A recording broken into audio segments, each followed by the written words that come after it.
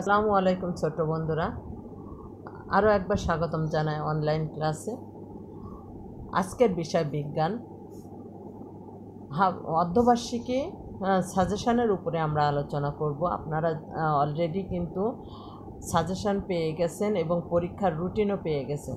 আমাদের তেরো তারিখ থেকে কিন্তু অর্ধবার্ষিকী পরীক্ষা শুরু হচ্ছে এবং সেই সাজেশন শিট আপনারা ওপেন করেন একচল্লিশ থেকে একচল্লিশ দাগ থেকে আমরা আজকে পড়ব। এখানে একচল্লিশ নাম্বার কোশ্চেন আছে। শ্বাস গ্রহণের মাধ্যমে তুমি বায়ু থেকে কি গ্রহণ করবে? বায়ুর কোন উপাদানটা আমরা গ্রহণ করব? শ্বাস গ্রহণের মাধ্যমে আমি বায়ু থেকে অক্সিজেন গ্রহণ করি। কি গ্রহণ করি আমরা? অক্সিজেন। ভেরি গুড অক্সিজেনের বৈশিষ্ট্য কী? অক্সিজেনের বৈশিষ্ট্য কী কী আমরা অনেকগুলো পড়েছি, তার মধ্যে আমরা এখানে দুইটা লিখলেই যথেষ্ট। যেহেতু সংক্ষিপ্ত প্রশ্ন, অক্সিজেনে কোন, অক্সিজেন কোনো কিছুকে জ্বালাতে সাহায্য করে। উদ্ভিদ ও প্রাণী বেঁচে থাকার জন্য অক্সিজেন ব্যবহার করে।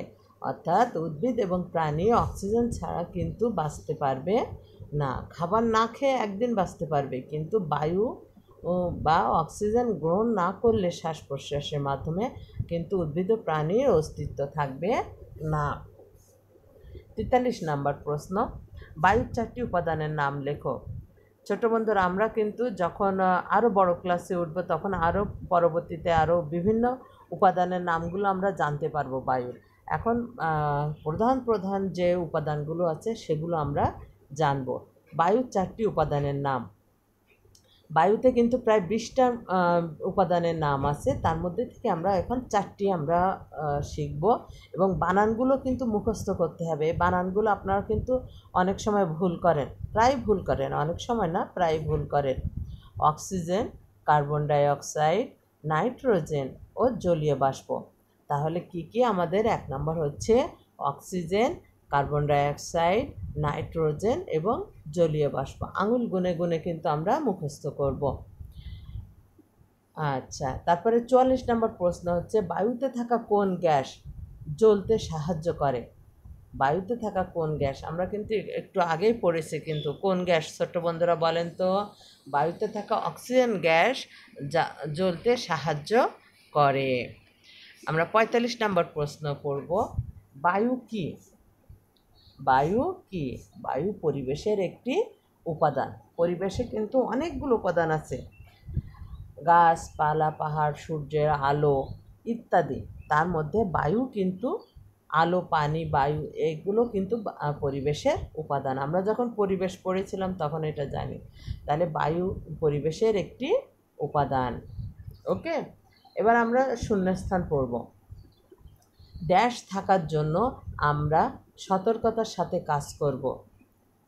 ছোট বন্ধুরা, এখন করোনা, তাই না? করোনার জন্য আমরা কি আছি? ঘরের মধ্যে আছি, সুস্থ আছি লকডাউনের মধ্যে আছি, কিন্তু তারপরে আমাদের খাওয়া, দাওয়া সব কিছুই কিন্তু সুস্থতার জন্যই কিন্তু আমরা সব কিছুই করছি, তাই না? তাহলে এখানে কি হবে? নিরাপদ থাকা। নিরাপদ থাকার জন্য আমরা সতর্কতার সাথে কাজ করব। ওকে এবং সবাই কিন্তু অনলাইনের পরীক্ষার জন্য প্রস্তুতি নিব। এবং আপনারা যারা এখনও পর্যন্ত হচ্ছে বুঝছেন না অনলাইন করবেন কীভাবে অনলাইনে পরীক্ষা দেবেন কীভাবে, আপনারা আমাদের সাথে কন্ট্যাক্ট করবেন।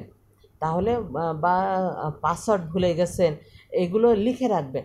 তাহলে এই সমস্যাগুলো আর কিন্তু হবে না। দুই নম্বর, সূর্যের আলো ড্যাশ পরিবেশের উপাদান। সূর্যের আলো। একটু আগেই কিন্তু পরিবেশের উপাদান নিয়ে আলোচনা করছিলাম। তাহলে আহ, উপাদানগুলোকে কিন্তু দুই ভাগে ভাগ করা হয়েছে। একটা কি? প্রাকৃতিক পরিবেশ আর একটা সামাজিক বা মানুষের তৈরি পরিবেশ। তাই না? তাহলে সূর্যের আলো কোন পরিবেশের উপাদান? হ্যাঁ প্রাকৃতিক পরিবেশে উপাদান। তিন নম্বর হচ্ছে প্রশ্ন বাস, ট্রেন ও নৌকা ড্যাশ তৈরি করে। বাস, ট্রেন ও নৌকা কারা তৈরি করেছে? এগুলো কি প্রাকৃতিক? ন, এগুলো হচ্ছে মানুষ তৈরি করেছে। এগুলো কারা তৈরি করেছে? মানুষের তৈরি। ভেরি গুড নেক্সট কোশ্চেন আমাদের চারপাশে সব কিছু মিলে যা তৈরি হয়, তাই ড্যাশ, অর্থাৎ পরিবেশ। আমাদের চারপাশে মিলে ঘর, বাড়ি, নদী, নালা হ্যাঁ স্কুল, কলেজ সব কিছু মিলেই কী হয়েছে? আমাদের পরিবেশ তৈরি হয়েছে। পাঁচ নাম্বার প্রশ্ন, জীব এবং ড্যাশ মিলেই আমাদের পরিবেশ। জীব এবং জড় মিলেই আমাদের পরিবেশ। ছোট বন্ধুরা আজকে আর না আপনারা কিন্তু অনলাইন হাফ ইয়ারলি পরীক্ষার জন্য প্রস্তুতি নেবেন।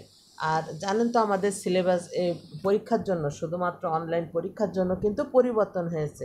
সংক্ষিপ্ত প্রশ্ন এবং শূন্যস্থান পরীক্ষা হবে। পনেরোটি সংক্ষিপ্ত প্রশ্ন লিখতে হবে তিরিশ নাম্বার আর দশটি শূন্যস্থান লিখতে হবে পাঁচ নাম্বার। আমরা বিশ নাম্বার। টোটাল পঞ্চাশ নাম্বারের পরীক্ষা দেব। সবাই অংশগ্রহণ করবে ইনশাল্লাহ। আপনারা আপনাদের বন্ধুদের সাথেও শেয়ার করবেন যে আপনারা কীভাবে পরীক্ষা দিবেন এবং কে কতটা প্রস্তুতি নিয়েছেন। মেসেজের মাধ্যমে আপনারা শেয়ার করবেন। তো সবাই সুস্থ থাকবেন, সুন্দর থাকবেন, বাড়িতে নিরাপদে থাকবেন। দেখা হবে আমাদের পরবর্তী ক্লাসে ধন্যবাদ সবাইকে। আসসালামু আলাইকুম।